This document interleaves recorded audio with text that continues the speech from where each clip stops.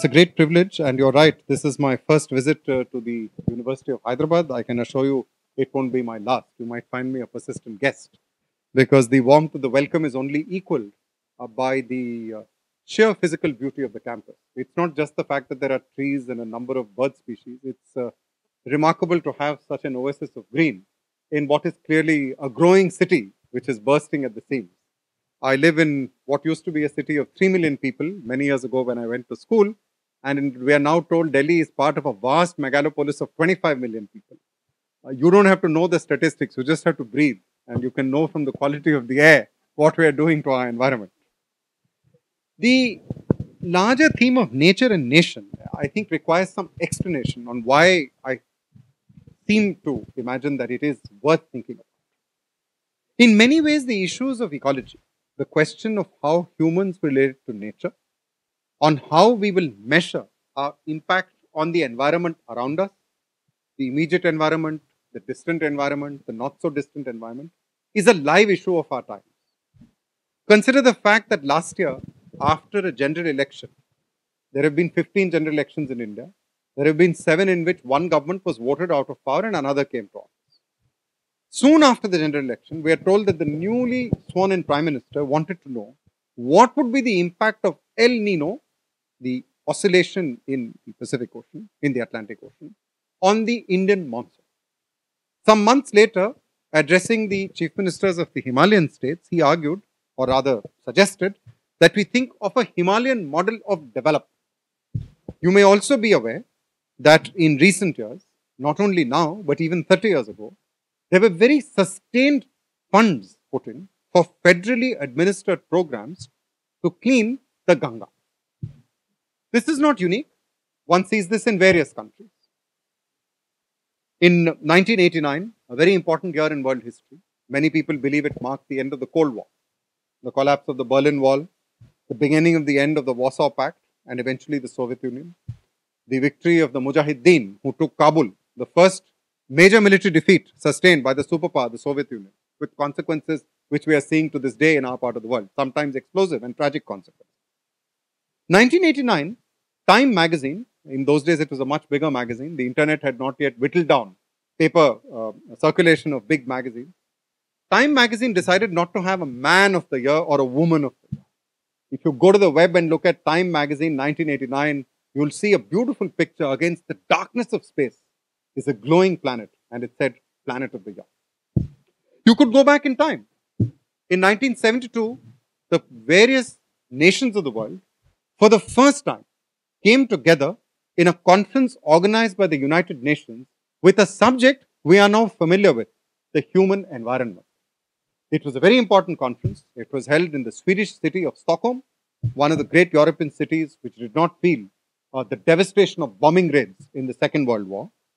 And uh, interestingly, there were only two heads of government who found the time to go to Stockholm. One was Prime Minister Olof Palme, but he was the Swedish Prime Minister. He had to be there. The other was the Prime Minister of India, Mrs. Indira Gandhi. But you could go back in time. In 1962, there was a very important book written in the United States. There are many people who single out many books. I'll pick this one because I think it represents the spirit of this larger search for Knowledge That Transcends Disciplines. It was a book written by a marine biologist. She was a woman. Uh, there are many distinguished women academics in this room. She was about as distinguished as all of you, perhaps more, if I may say so. But she couldn't do a doctorate. Her name was Rachel Carson. She set out instead to be a science writer. She'd written three bestsellers on the sea. Other than people who know about the sea or know about Rachel Carson, you may not have heard of them. But the book she wrote in 62 was a very important one. It was called Silent Spring. And it began with a question What are the forces that have silenced the voices of spring across America? It was about pesticides and their dangers for the environment. It was about unintended consequences. The pesticides were not sprayed by people who wanted to kill birds, they were aiming at insect pests, but they left a trace. They were chemical compounds which were not degradable and they stayed in the environment. Even earlier, in 1948, when the UN was still a newly formed body, Osborne and Osborne wrote a very important book called Planet in Peril. There's one thing common between these books and these conferences. They looked at the global picture. There's a very good reason. The monsoon affects not only India, but many countries across South and Southeast Asia and Southern China. The birds that winter in India, and many birds do, come from far away, some from as far away as Manchuria. I was just hearing that one of the students here is doing a doctorate on Chilka Lake, which is on the coast of Orissa. Off the coast of Chilka, you can see Irrawaddy dolphins. Now, they haven't all come all the way from the Irrawaddy in Burma, but the name is fair because it has a range that stretches from the coast of India, the southeast coast, into Burma. So, there is a deep realization that the peoples of the earth are not just unified by a common ancestry or a shared culture, the fact that we're human, but that this is our only home. Uh, at the beginning of his very famous film, An Inconvenient Truth, Al Gore comes along and he says, Good evening. My name is Al Gore and I'm very famous. I was supposed to be the next president of the United States. And then he tells you that there's something very famous about one particular picture. It's a picture of the earth taken from Apollo 7. It's the most famous picture of the planet Earth.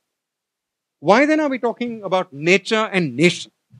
If we're all bound together on this one planet, dolphins, crustaceans, the monsoon winds, and all, why are we then thinking about nature and nation? One reason is very simple. As student of history, we were taught you can go on as long a journey as you like 500 miles, 10,000 miles, 700 leagues. But that journey has to begin where you stand. You may live wherever you may on earth. It may be a desert, it may be a mountain, it may be an island, it may be a coast. The chances are you live inside a nation state. And there's something very interesting about nation state. I work as your distinguished colleague told you at the Nehru Memorial Museum and Library. And when I go into work, I pass three statues. They're known as Teen Murti, the three statues. Cavalrymen, soldiers of three companies from British Indian Army regiments, but they were not Indian Army, they were from the princely state. They fought in the Battle of Haifa in the First World War and brought it under the domination of Britain. So the mandate of Palestine was established because of the victory they won in 1918 against the Ottoman Turks at Haifa. He didn't know it, but we do now. The world map was about to change at the end of the First World War. It's been changing ever since. You may not know all the changes, but there's one simple truth. The number of nation states on earth today is four times as many as existed in 1940. We were just discussing something about borders. Can they be abolished? Probably not. But we know one thing they can be made and remade. So the number of nation states on earth has gone up. Each claims sovereignty over its land, its water, its territories, over nature within its own borders. There's another major transformation, much more familiar to all of us. We're meeting in Asia, very famous, not just because it's the largest continent, but as we are always reminded, it has more people than any other continent. Well, it's not just the number of nation states that went up fourfold, the number of people went up between 1900 and 2000. So the 20th century was a century of immense transformations. More borders, more people, less standing room. Along with it was another change. John McNeill, in his book Something New Under the Sun, comes up with one more statistic. I don't like statistics. I promise not to quote any after this. McNeill says that this 100 year period saw the gross world product, if you added all the tomatoes and steel and computers and uh, books and everything the earth produces, it went up 14 fold. This was a century of unprecedented creation of wealth. The environmental dimension reminds us that wealth comes with waste, that the creation of opportunity for some comes with the denial of opportunity for others, that when you smelt steel and mine ore, you may erode the topsoil, that when you grow grain, you may lower the water table, that when you have economic activity, which results in the creation of wealth, you may have ecological impoverishment, which results in the breaking of very vital links in nature's chain or web of life. That's why we have terms. There are books written called The Sixth Extinction. I'm sure there are very few people in this room who have seen a tiger in the wild. There might be even fewer who have seen a lion in the wild. But I'm sure all of you have seen a film called Jurassic Park or heard of it, or one of the three Jurassic Park films. Now, the Jurassic Park films are a very interesting series because they tell us that it's possible to clone life and create it inside a park. You're supposed to have all these exotic animals. You go to the park, see them, and come back. Of course, the animals don't stay in the park, they follow you and they do all sorts of nasty things to you. But interestingly, because when you look at these vast changes, you're struck by why India stands out. When you look at the nation states of Asia, this is a country which has more people than any other than China. You know, there's been a lot of debate about the impact of British colonialism, the scale of wealth creation, the drain of wealth. And if you see today's editorial in one of the leading dailies, it talks about India's share of the gross world product. Well, even if I round it off, it's only 3%. So the world produces $100, India produces 3. But India has 17% of the world's people. It has less than just over 2% of the world's land area. It still has an astonishing tapestry of living life. I was complimenting you on the beauties of the campus, but we shouldn't forget that this sliver of land is incredibly well endowed, not just with diversity of geographies, diversity of topography, but also with the diversity of life. You may have heard a lot of these slogans. There was a slogan around 30 years ago when we had a very dynamic uh, prime minister and we had color television. It was called Mera Bharat Mahan, why my country is great. It's very interesting if you ask people, what does India mean to you? They'd come up with a lot of meaning. One of the meanings, of course, is that India is the people who live in it. After all, the people of a country are its wealth.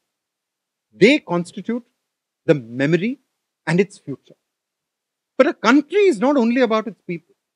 A country also is about what they believe constitutes its heritage. And it's very interesting that in newly independent India, within a few years of independence, five to be precise, Indian leaders had a debate and decided what would be the national animal, the national bird, and the national tree. The animal, as I'm sure you know, was the lion. It was a symbol of royal power. It had associations with the Buddha, who was known as Shakya Simha, or the lion of the Shakyas. The bird was the peacock, and the tree was the banyan. Now, this was not without some debate. We are meeting in Hyderabad, now in India's newest state, Telangana, the 29th. But this earlier was part of the Nizamat of Hyderabad. Hyderabad in the 1940s invited the first Asian outside Japan to write a book about the birds of his country, Dr. Salim Ali. Dr. Salim Ali had been trained in Germany.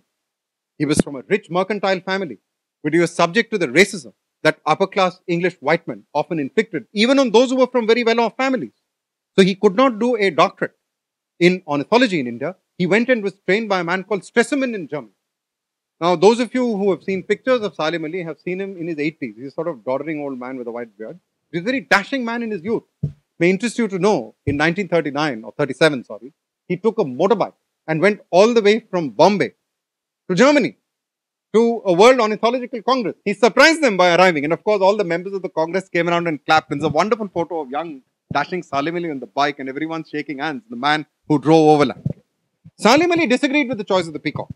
He suggested it ought to be the great Indian bustard. And Salim Ali picked the bustard for a very important reason. The bustard was very rare. It was already vanishing. He suggested if you have a vanishing bird, it will raise an awareness of nature.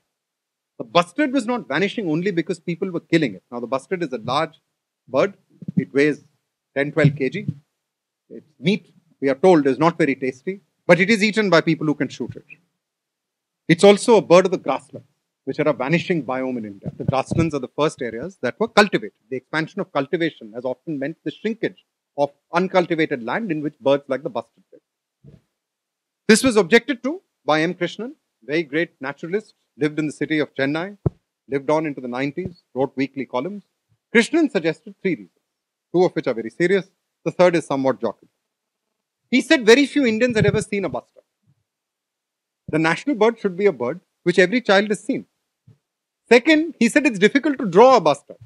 A national bird should be a bird which a child can draw easily.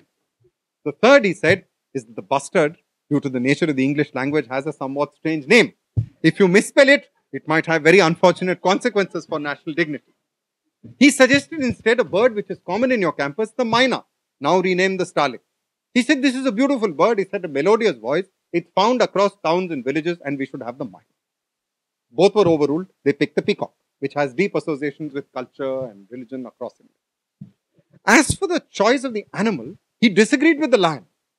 He said that the lion is found in only one part of India. The animal he felt, which is distributed across, seen regularly because it is tame, has a deep place in the cultures of Asia. I think he was right. I'm sure you've guessed the animal. And is supposed to be endowed with intelligence, which every child knows to draw, is the elephant. He was overruled.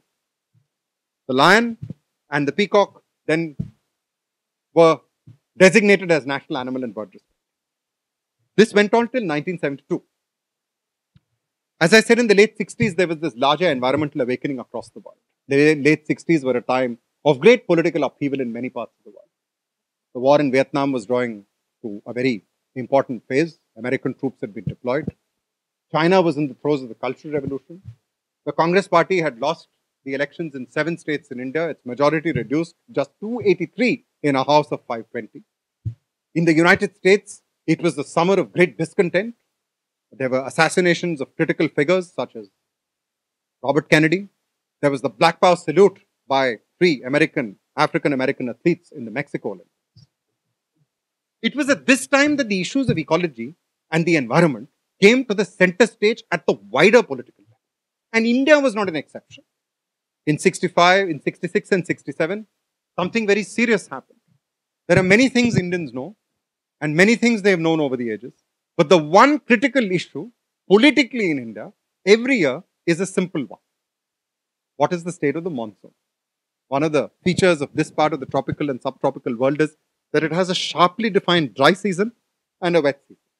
80% of the rain comes down in the wet season. Well, there's news for you. The monsoon failed for two years in a row. And India was in a very difficult position and had to depend on food shipments from the United States. Around this time, the newly sworn in Prime Minister, Indira Gandhi, delivered an address in the city of Bangalore. Remember, she became Prime Minister in January 1966. This is about a year later. The speech is very interesting. She said, The country is suffering from severe drought. Many experts warn that the problem of water scarcity is growing because of indiscriminate deforestation. We do need development, but the protection of forests is important because it is a matter of the security of the country. Unquote. Two years later, a few years later, rather, in 1972, the government of India appointed a task force on a very important animal, the tiger. And in 73, India launched Project Tiger, which was an effort to save the animal from extinction. Around this time, they brought out a pamphlet and the pamphlet began by saying that the protection of the tiger is important because it is part of a food chain. It's not being protected in isolation. By protecting the tiger, you're protecting the forest, the living animals and organisms and reptiles and plants within it. And you're reminding yourself that nature's web needs repair as well as protection. And at this time, there was a very important coup. You're wondering if you misread the history books. In 1972, the lion made way for the tiger. The tiger was declared the national animal. At the press conference where this was announced, the chairman of the Indian Board for Wildlife and Project Tiger, Dr. Karan Singh, was asked why this had been done. For those who came in late, Karan was his first name. Singh, as you know, means lion. But there is, there is an aside. He has publicly denied it, so I can quote him. He was, as you know, a scion of the former royal family of Kashmir, and his pet name when he was young, still used by his friends and even in some books, was Tiger. Now, he strenuously denies this is the reason.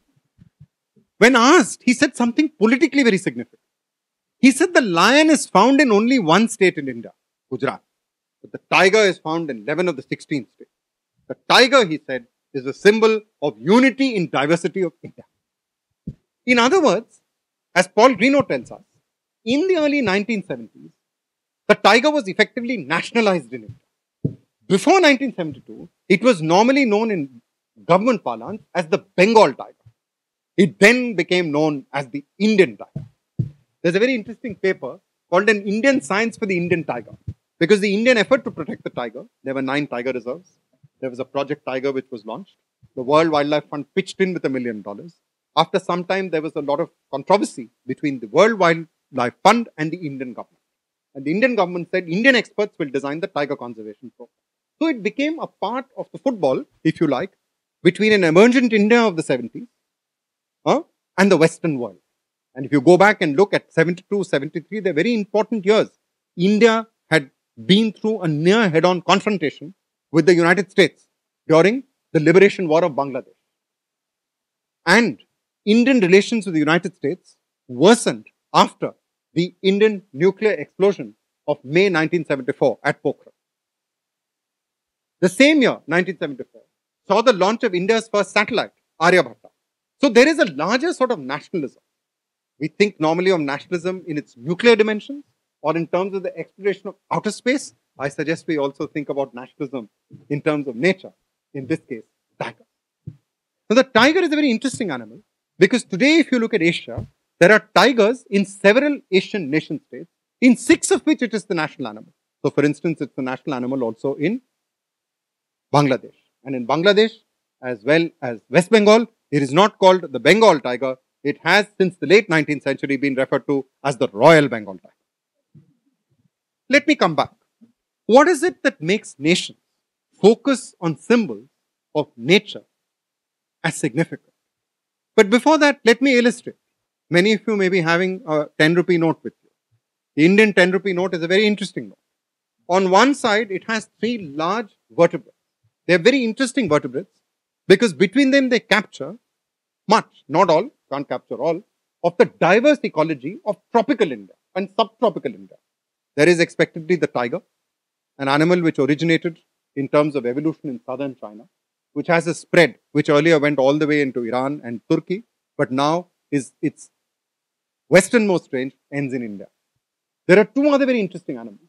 There's the elephant, which remember M. Krishnan proposed as national animal, but he didn't get there, did he? The elephant, of course, is a very significant animal across South and Southeast Asia.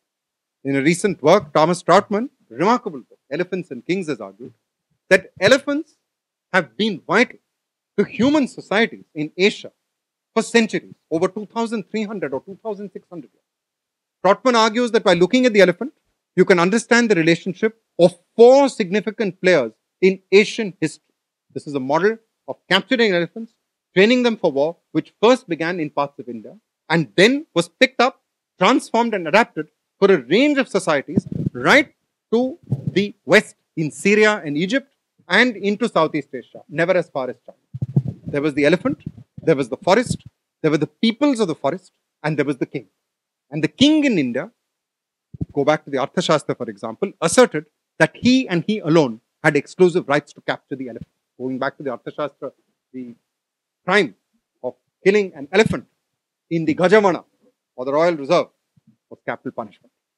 So the elephant is another very important animal on the 10 rupee note. The third is even more interesting. It's the Indian rhinoceros. But I should correct myself.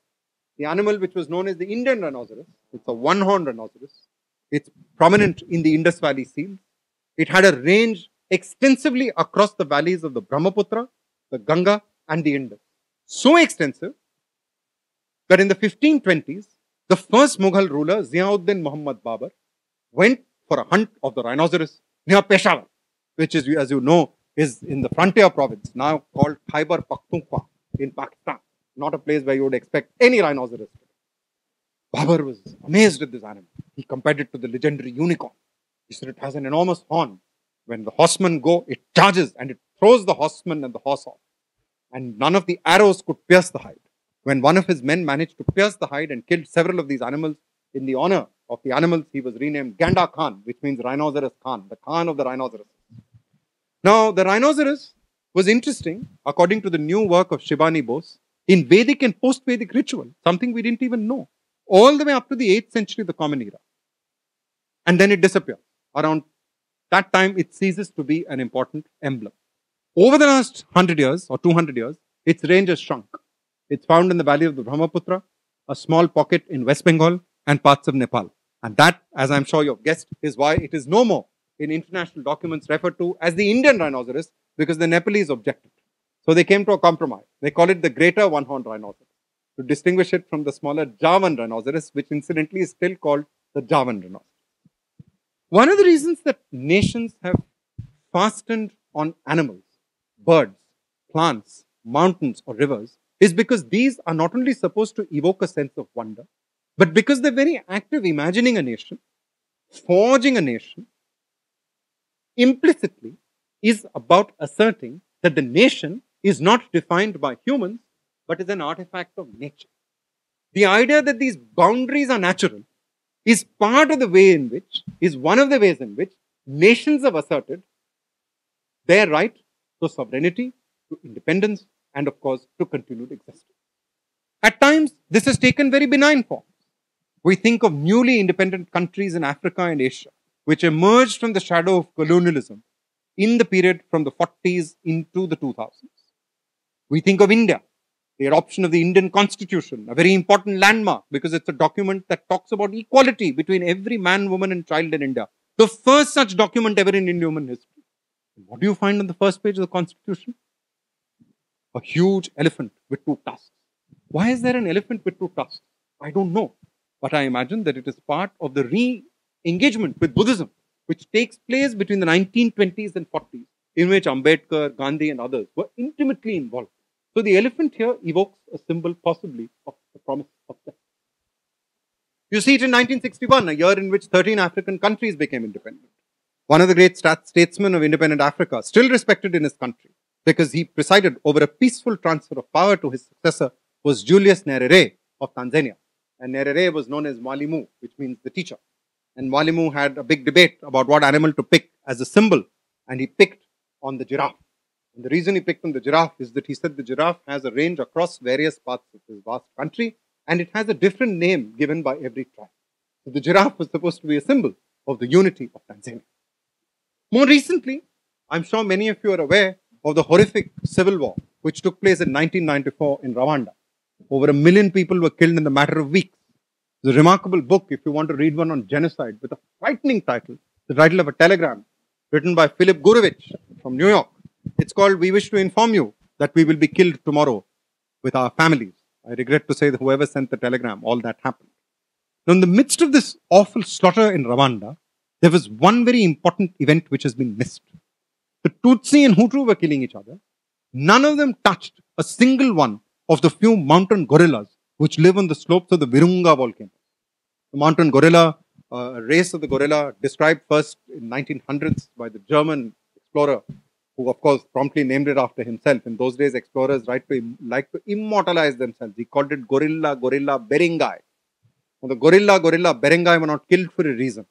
And the reason is that they had already emerged as a very important earner of revenue for Rwanda.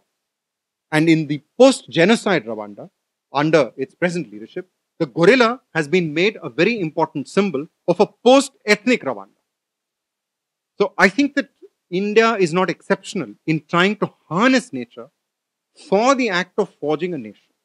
At the same time, we need to be sensitive to the fact that this act of forging a nation isn't always a happy, just so story of the Kipling variety. Think of the creation of the world's first national parks in the United States Yellowstone, Yosemite. Yosemite comes from a Ahwahneechee Indian word for a very scenic area of mountains and valleys. Those of you who like watching the Star Trek series with Captain Kirk and the immortal Mr. Spock may wish to see in one of them uh, Mr. Spock and Captain Kirk and their friend, the surgeon, go mountain climbing in Yosemite Valley. I won't tell you what happens after. But Yosemite, which the American settlers felt ought to be preserved as a part of the America that was, as a part of their heritage, as something nature had endowed, which was already ancient when Jesus walked the the, the, the streets of Galilee and when Adam was born because they felt it was ancient. It gave them a history. They lacked the cathedrals of Europe. They lacked the great fortresses. So they turned to Yosemite. They saw it as a place which did not, did not have a history till they made it a national park. There's fascinating work to show that Yosemite is as, as much an artifact of humans huh, as of nature. The wide valleys of Yosemite, which Ansel Adams photographed and showed, with beautiful grasslands fringed with trees had been created by fires lit by the Ahwahneechee Indians, who, as I'm sure you've guessed, when they made the Yosemite National Park, the state park and later national park were evicted using no less than the US Army. There's even more chilling ways in which nature and nation could be interrelated.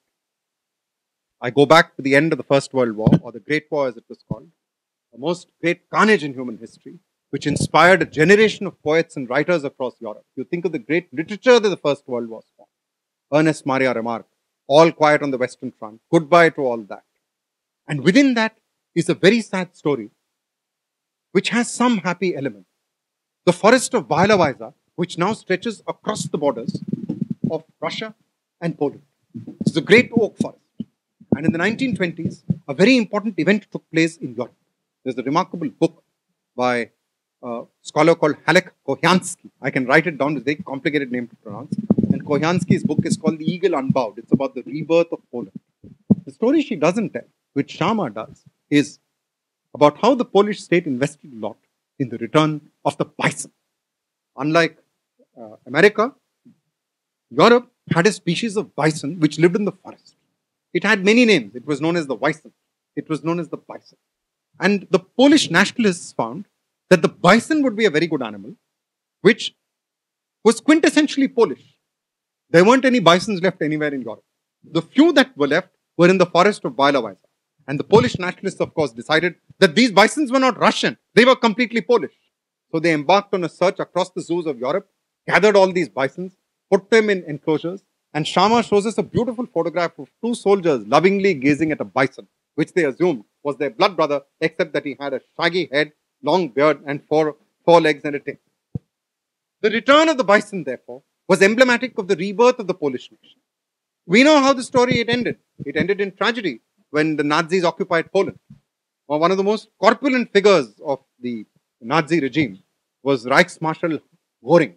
And Hermann Göring transformed the Bialowieza into a hunting reserve. He went out into the reserve with his uh, uh, friends from the uh, Luftwaffe and other wings of the German armed forces and hunted down bisons and roe deer and boars. When Poland won its independence, the bisons got uh, uh, some peace and they're still there in the forest. But the unknown part of the story points to a dark underbelly of nationalism, a very frightening story. Simon Schama, who wrote about this story, as you may have guessed, was a Polish Jew. His parents were lucky enough because they fled Poland and ended up in Great Britain, where he lived. And where he, went on, he left Britain and he now lives in the United States. Schama's ancestors were unusual. They were Jews who lived on the land. Remember, across Europe, except in the Pale of Settlement in Tsarist Russia, Jews were not allowed to buy land. Most of them indulged in trade, businesses, services, and the professions. But the Polish Jewish foresters of Bialowieza were not as lucky as Schama's ancestors. They didn't get away in time. They ended up in Auschwitz.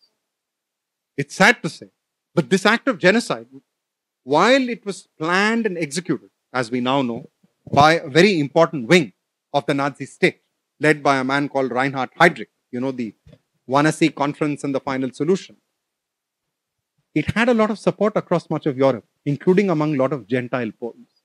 So the notion of the bison being Polish did not include a place for the Jewish foresters who protect the forest where the bison lived.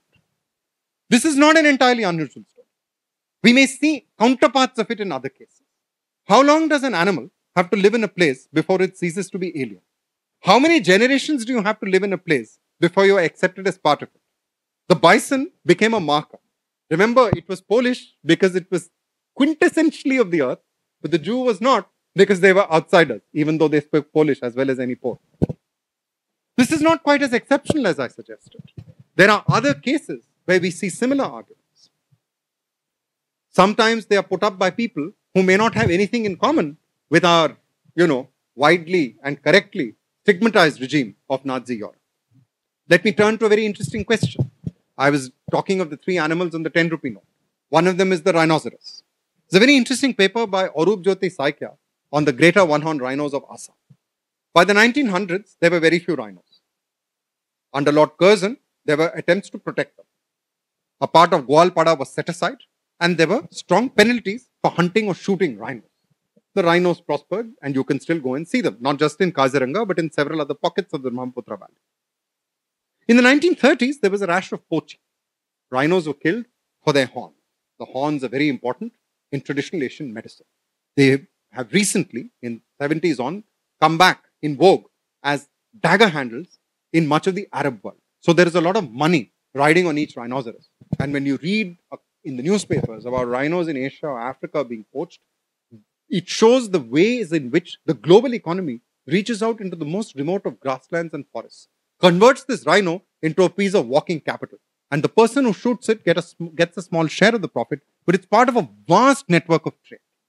To go back to the 1930s, the Assam Rifles, very important paramilitary force, goes back to the Cachar levies, 1832, were deployed in the forests of Manas to hunt down and stop poachers. There were also attempts in Kaziranga to stop the poaching of rhinoceros. What Saikia tells us is fascinating.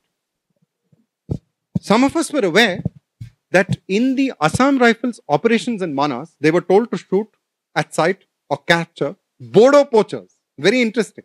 The Bodos are a particular tribe in Assam. But the word Bodo and poacher were attached to each other. If there's a poacher, must be a Bodo. Sometimes it could mean the reverse. If there's a Bodo, prove it or not, could well be a poacher. Set the paramilitary force aside. In the 1930s, for the first time, you start finding Assamese regional nationalism from the 20s, very important, the Assam Sahitya Sabha, as in various parts of India, notion of linguistic nationalism, this idea that a people who speak a particular language have a common culture and history and are entitled to a region or a state of their own within India. Was patronized by no less than Mahatma Gandhi. The Congress in the 1920s reorganized itself on a linguistic basis. And why not in Assam? Right? But it's interesting in the 1930s, Assamese writers started arguing that the rhino is an Assamese animal. And the Assamese identity requires the protection of the rhino. Very interesting. Because if you look at Ahom imagery, 600 years of Ahom rule, right to the 1820s, there is no mention anywhere of the rhinoceros. The elephant, yes, the rhino, no. So the invention of a history can include the animal. But why single out the Assamese? Take a look at a very different country. Go back to Palestine. In the 1920s, the British came down to rule Palestine. There's a somewhat funny story which I can't resist telling. In 1918, General Allenby entered Jerusalem. Remember, our friends from the princely states had routed the Ottoman army in Haifa. When he entered Jerusalem, he established military rule. After that, he handed it over to the civilian government. The civilian officer, however, had a very peculiar problem. The British quartermaster who handed over Palestine insisted on what he called a receipt. So he wrote out a receipt, handed over one Palestine complete. It was signed, stamped, and given. And there's a marvelous book called One Palestine Complete, and the story I tell comes from that. The Jews were great pioneers. They were fleeing the great massacres that I talked about in Europe, which long predate Hitler. The worst massacres, of course, took place in Tsarist Russia. And fleeing the persecution, some of them started trickling into Palestine. It's a difficult country. And what could they do besides farming and trade? Well, they planted trees. And normally, they planted eucalyptus trees. The reason is that eucalyptus, I'm sure you all know this, we're on a campus with lots of eucalyptus globulus, is not palatable to goats. So if you plant the tree and go away, it'll look after itself. It sets out green leaves, it puts deep tap roots and taps the water, and it grows up. Now, to do this, the Jewish National Fund needed money. They enlisted a young woman called Golda Meyerson. Golda Meyerson trumped up and down the world collecting money for the Jewish National Fund to plant trees. As Schama tells us, each tree was more than a tree. It was a Zionist settler in Palestine staking the claim of the Jews to a national home in Palestine. And needless to say, Golda Meyerson later Hebraized the name and became Golda Meir. She was the leader of the state of Israel at a very important set of moments in the 1973 war. So Palestine, which became a home for Jews, became a home for some Jews by denying a home to the people who already lived in Palestine. The eucalyptus tree, which meant home for the Zionist settler, also meant no home for the Palestinian Arab. Nature here was harnessed to the nation. And it's interesting when you look at the history of the state of Israel that the protection of nature was an article of faith for the Zionist state. So, an animal like the Nubian ibex, which was near extinct, has been restocked and it, it is spread now across Palestine and, and Israel. But this conflict is not only about the land, it's about the water. And as you may be following Israeli Palestinian negotiations, the sharpest, toughest negotiations are not only over land, they're over the cornering of water by the government of Israel and the settlers in the West Bank. This also has rays of hope. It's fascinating. Granta had a wonderful article some years ago called Birding in Palestine. And one of the things which Jews, Israeli Jews and Palestinian Arabs who are trying to foster a dialogue do is to go birding together. Now, it seems the skies over Israel and Palestine are also divided. because Israeli Air Force does sortie. And the place where it's doing a sortie, it can't allow any birds because if a bird hits a plane, the, they, they'll lose so many thousands of dollars. But these birding trips are very important because they are one of the few activities which they can do peaceably on a holiday together. Now, whether it creates the basis of understanding, I don't know. But let me come back to India and the story of our good friend, the lion. In a fascinating recent book published last year, one of India's leading historians, who was given, I believe, lectures here, Professor Romila Thapar, and uh, two other uh, scholars, have written a fascinating book called Exotic Aliens in India The Lion and the Cheetah. This book puts forward a very interesting claim. I respect her beyond measure of words as a scholar. She argues that the lion imagery probably is inspired by the Greeks. So the Mauryan lion pillar, which you see on the other side of your 10 or your 100 or your 1 rupee note, is a Greek emblem. Maybe. But I am not persuaded by the other argument.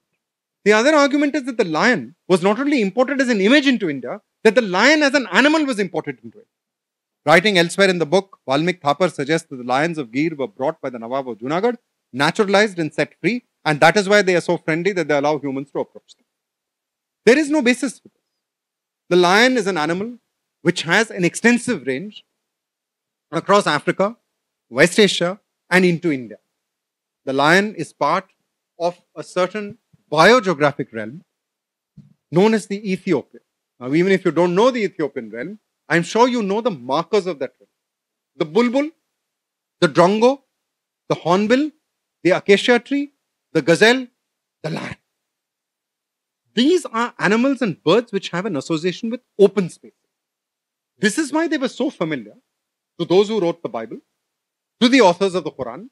You know, the Syrian president is known as Assad. You may or may not know this. Asad is one of the 108 names in Arabic for the lion. So whoever wrote that knew what the lion was. Similarly, in India, not only is the lion well known in Sanskrit literature, Shakya Simha, the, the, the, the lion of the Shakyas, the first sermon of the Buddha is known as the Simhanada of the Buddha. It's a fascinating term.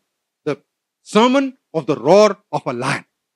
You know, on the last or the second last day of 99, we were in the Gir forest looking for two enormous male lions which were somewhere in the brush. I think they were around two kilometers away. And suddenly one of them roared. And believe me, this term that the earth shakes when a lion roars, actually the earth didn't shake, but it felt like that. The lion is equally interesting in Tamil literature. In fact, in the Tamil versions of battle, the manes and locks of a warrior are compared to the mane of a lion. So I am a little surprised that the geographical spread of the lion is sought to be nationalized or the idea that it is simply an import be popularized. Even more surprised for another reason. You see, even if lions were brought into India by the Greeks, that was in the third century BC. That was 2300 years ago. So I come back to my question. How long do you have to live in a country before you cease to be an alien? How many generations have to live have you to live in India before you become an Indian? What does it mean to be part of a country? And I think that even if certain animals, birds, and plants were naturalized in certain areas, over time they may become part of its local texture. What could be a better example than a tree I am told was introduced into your campus by its founder, Vice Chancellor, Professor Gurbaksh Singh, the neem. It's not widely known that the neem is not native to most parts of India. Pradip Krishen in his recent book tells us that the neem is the tree which grows on the borders of Burma and India. Very few people know this. And there's no reason they should. That the tamarind, Tamarindus indica, probably is an African import. That the chili, so beloved of South Indian cooks and gourmets and people who eat South Indian food, actually came to India from South America. It didn't exist before 1500 because it was brought in by the Portuguese and the Spaniards, not just to India, but across the old world. Marvelous book, if you wish to read it, on the botanical consequences of the Columbian conquest. Uh, there's a marvelous book called 1493. It's one of the funniest books written by Charles C. Mann. It's about the transformation of the food cultures and economies of the world because of the plants that hopped onto these ships and rode into various parts of the world. Some of them were deliberately taken, and some, as you can imagine, were what we call stowaways. One of them also grows on your campus, the Congress grass or Parthenium, the bane of asthmatics. So, you know, we are not looking at pristine nature in any case. We're looking at nature which has been recrafted by humans through the ages. This doesn't mean we ought to demolish nature and destroy it, which brings me to my last point. I began by saying that the ecological dilemma is a global one, but we have to begin whatever we do within the nation state. We can't end there, but we have to begin there. And nature has often been an object of action by the nation state. It has tried to save nature in certain ways, in certain forms. It has enclosed nature in order to save it. This raises a question Who is it being saved from? What is it being saved for? Is the act of preservation also an act of destruction? In enclosing nature, is the nation protecting it or erasing it? Let me explain. One of the great scholars that India has produced, a remarkable scholar of history, who writes history in the form of novels, is Amitav Ghosh. One of the books he wrote was called The Hungry Tide. It's remarkable. It has a woman who studies dolphins. It has a boatman who goes off with her. And it has the inhabitants of a village called Mori Jhapi. Marichjhapi was the scene of a ghastly massacre in 1978. People displaced thrice. First by the genocide of the East Pakistan of the Pakistani army in what is now Bangladesh. Then by the fact that they were shunted, shunted all the way to a very dry area in central India called Dandakaranya. Then they were brought back in the 70s into this marshland, which they converted into rice growing field, and then by the creation of a tiger reserve. Ghosh bases his narrative, of course, on the very fine doctoral thesis now published by Professor Dr. Annu Jalais, The Forest of Tigers. What she shows us is that the people who lived in the forest were prawn collectors, wood collectors, fishers, rice farmers, and they felt that they had made a home out of a wilderness. To protect the tiger, not only were they deprived of a home, they were denied any other alternate home, and this was virtually done overnight. So, the very familiar term, one person's meat is another's poison. What is nature or natural artifact to one is a living space for another the very distinguished Indian officer, Dr. Ranjit Singh, who tried to initiate some programs to protect the Sangai, very important species of deer, the brown antler deer in Manipur. He was happy to find that some of the Manipuri nationalist groups were also on his side because they said anyone who harms a Sangai is against Manipuri national identity. The Manipur Sangai had been transformed into a Manipuri national symbol or a regional symbol. But when he interviewed those who went in for reed cutting and fishing and buffalo grazing, and tried to tell them that the Sangai has no other place to go in the world. They said the Sangai has no other place to go in the world. Don't you realize we also have no other place to go in the world? So there's a very serious question of equity and justice which comes up when the nation tries to preserve nature. Who is it being protected from? Who is it being protected for? This doesn't mean you don't protect it, but how do you do that? Is seclusion the only way of protecting nature? Are there ways other than seclusion and sequestration? Is nature simply an object in the creation of states? Is it something more?